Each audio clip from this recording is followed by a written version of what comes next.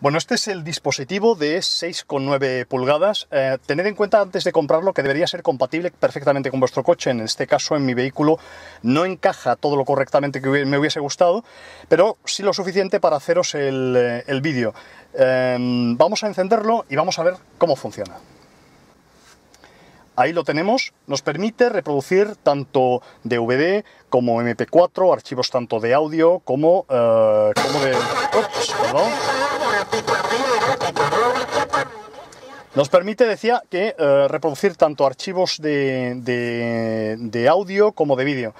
Este es el eh, sintonizador para la radio, vamos a buscar alguna emisora. En teoría te hace la búsqueda automática, efectivamente. Vamos a darle un poco de volumen. Ahí lo tenemos. Bueno, vamos a cambiar de dial. Y yo a muchos familiares Hemos iniciado desde Y ahí está.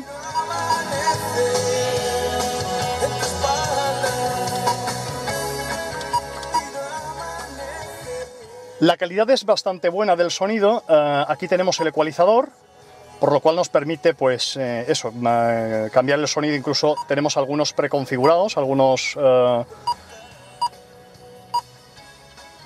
algunas características de audio.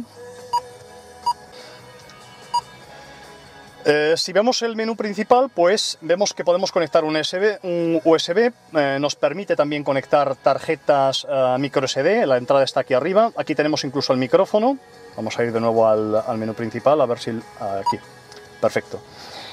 Eh, incluso pues eh, un dispositivo auxiliar cuya entrada está aquí.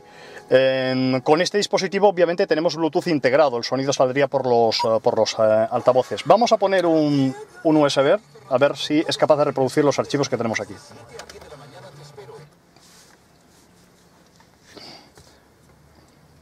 Bien, pues fijaos que ha identificado el primer tema, pues a ver,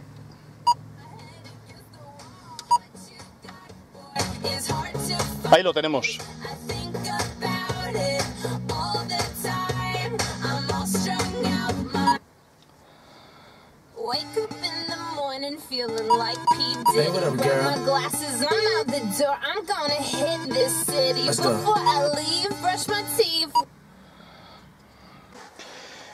Otra de las cosas que nos permite el dispositivo es ver, pues, eh, vídeo.